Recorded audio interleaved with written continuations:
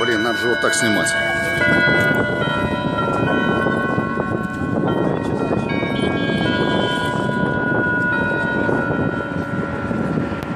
Левый верхний угол.